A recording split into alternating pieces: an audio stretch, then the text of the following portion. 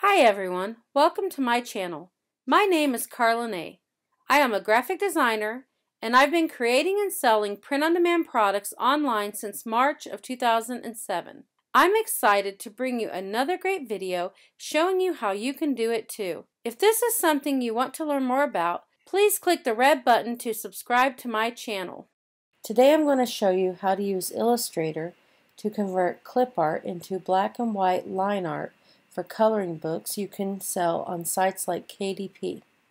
I will be using Adobe Illustrator 2022 on a Mac. Some things may be different if you are following along using a different version of Illustrator or on a PC. Alright, let's get started. The first style of graphic does not have an outline or border around the different parts of the graphic. Our goal is to give the graphic an outline so the drawing can be colored in. The first step is to copy the image and paste it next to the original. You do this by selecting the entire image, clicking Command C, Command V to copy and paste, and then dragging the image over to the side. This allows you to keep the original intact and it's nice to have as a reference as you change the image. I like to do my edits in the original file to make it easy to find if I ever want to use this image as a line art again in the future.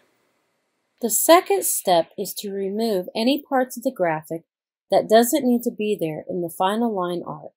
Select the Direct Selection tool from the toolbox. Click on any part of the image that you want removed. On your keyboard, hit Delete or backspace on a PC.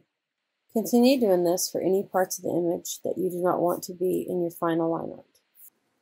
Now select the entire image by choosing your arrow tool and dragging over top the entire image.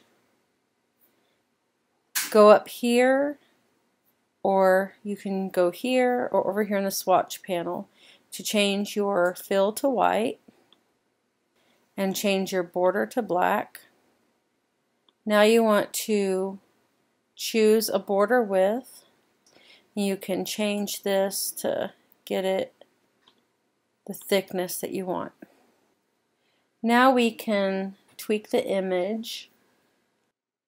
Use your direct selection tool, which is a second arrow. So select everything and then you can go in your swatches panel and click on the fill and choose black.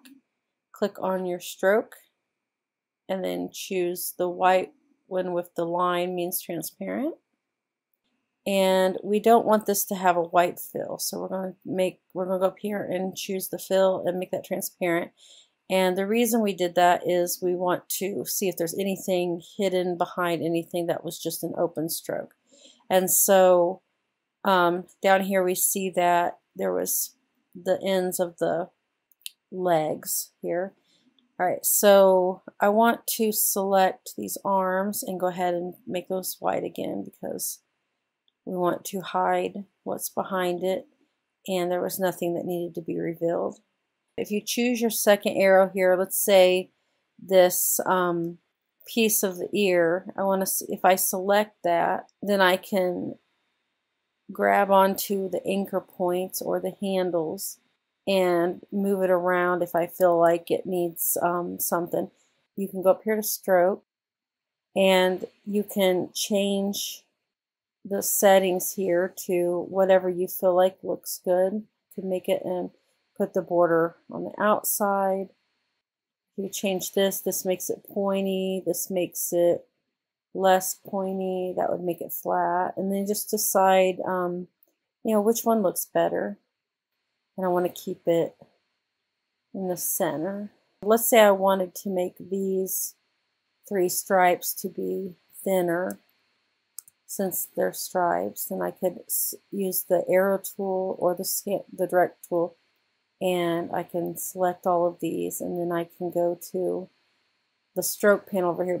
And if you don't see your stroke panel, go up to Windows and go down to stroke. There it is. And it will pop it up. And then I can, if I wanted to make these less, then I can do that. And I want to change these stripes also. So I'm going to select tool, select each one, And I can either go here and select what I want, or I can go over here and click on the eyedropper tool and go up here and select what I want it to match, and then that will make it exactly the same. Now when I do that, on this image, you can see it actually, because I've got a white fill in that, it's not, it's hiding and it's a thinner stroke, so it's not going to be perfect here and it's hiding this thicker line. So what you can do is, there's a couple ways to fix this. I can click on these again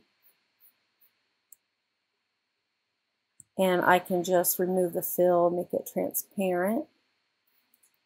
Or another way I can do it is to go up here to the stroke or here in the stroke panel and then I can change it to inside. You can see that it's now correct. All right, so um, just look around at your image and see if there's anything else you want to change. Like um, I think that this tail is too pointy, so I'm going to select those.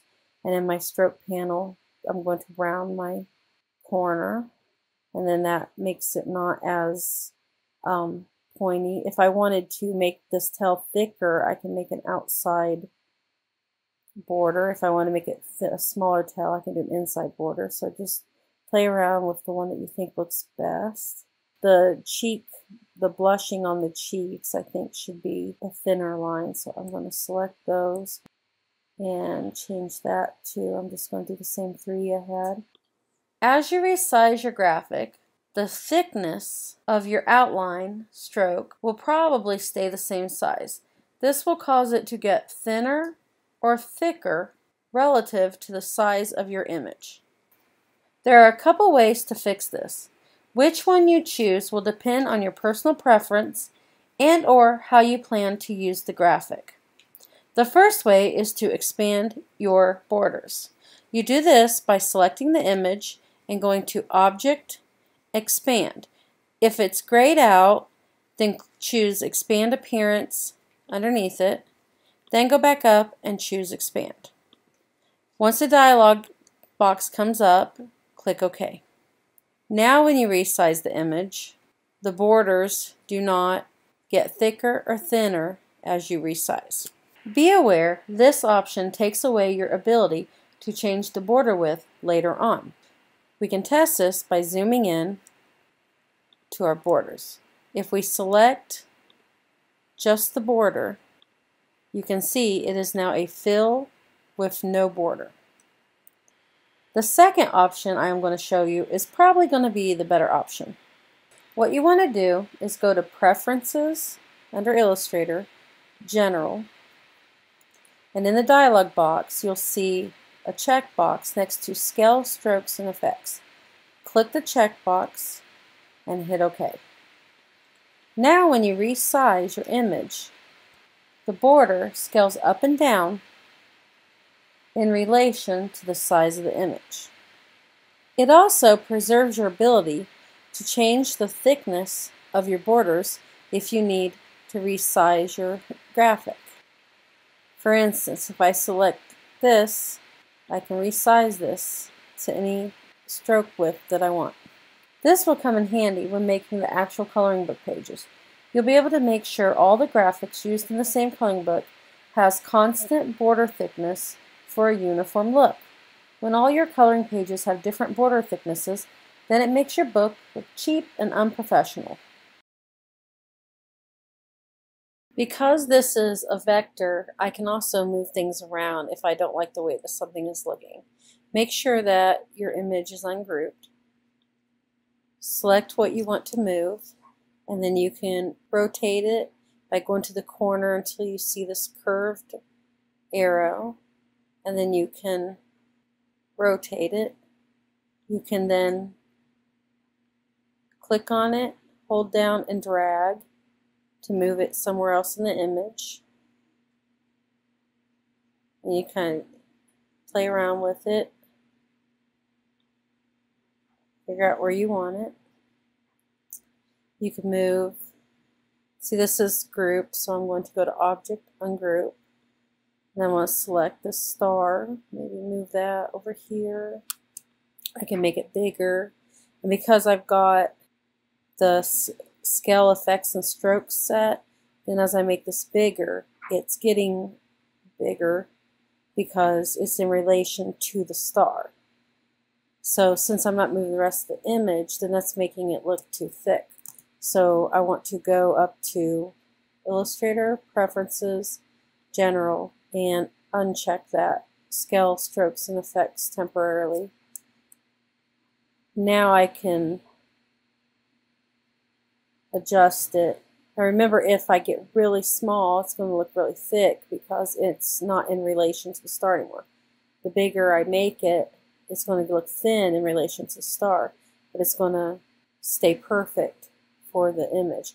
So one tip to remember is that if you're resizing the entire image, you want to have scale effect, scale strokes and effects checked so that all of the board, all of the strokes will scale as you scale your image. But if you're just resizing one piece of the graphic, then you will want to uncheck that so that the border will stay the same size as the image that is not moving. So let's move a few of these stars around it'll give the kid something, an easier way to color that in. And let's copy. I'm going to do Command C, Command V on a Mac. And put a star down here. And then copy this one and put it here. I think that's cute. All right, looks good.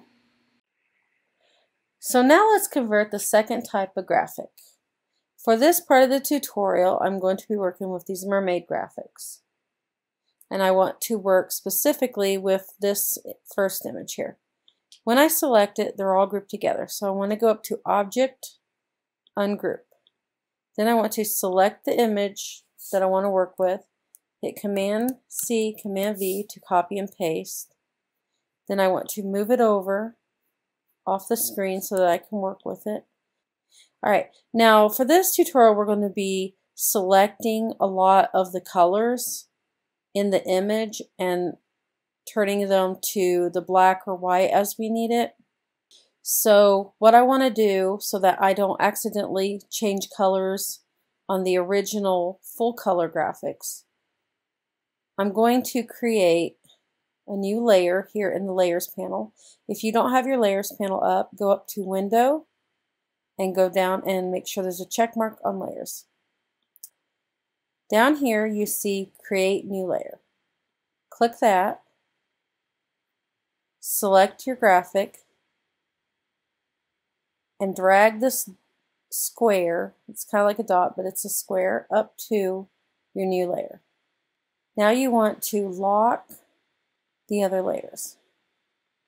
And you can see that this already has a drawn border. So you want to use your direct selection tool and select the border on one part of the image.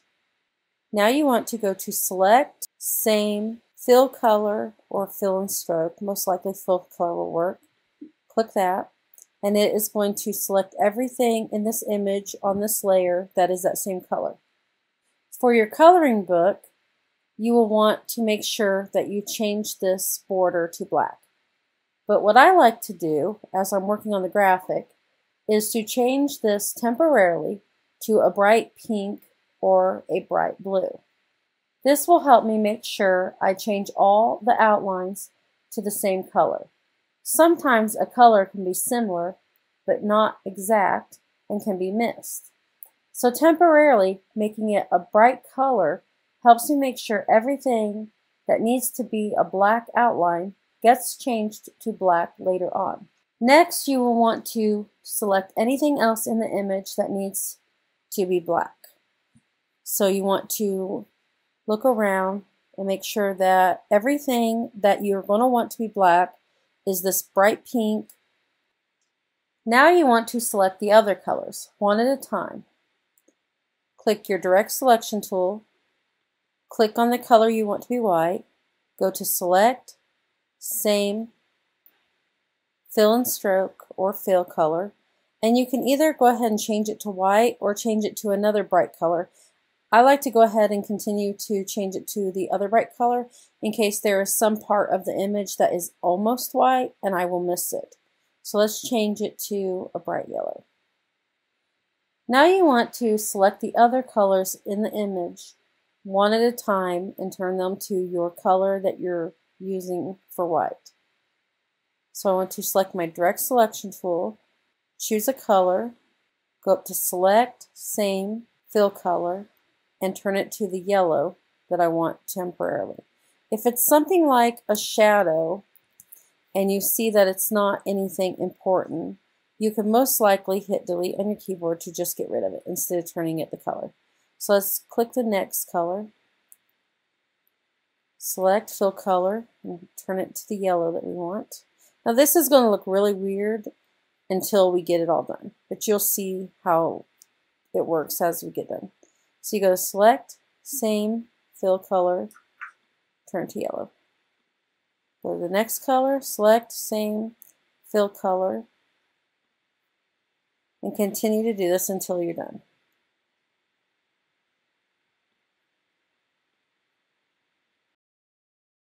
Now that you have converted your entire image to these two bright temporary colors, you'll want to now change the colors to your black and white 3 coloring book. To do this, select your direct selection tool, click on the yellow, go up to select, same, fill color, go over to your swatches panel and click white. Click on the background and you will notice that there are three pieces of this image that did not get converted to white. That means that this was another yellow that we missed because it looked like the other yellow. So we are going to zoom in, click your direct selection tool again, click each one, hold shift so that you can click than one at a time. Go to your swatches panel and change it to white. Now you want to select your outline color, select same fill color, and change it to black. And now you have a really nice black and white coloring page image. That's it. You are now ready to easily and quickly convert any color vector to a black and white line art. If you enjoyed this tutorial and want to see more, or you are interested in learning more tips and tricks on how to make money online by creating books, t-shirts, and other products through print-on-demand websites such as KDP, Merch by Amazon, Redbubble, and more, then please like this video and subscribe to my channel. Thank you so much for watching. Let me know in the comments below what other videos you'd like me to make.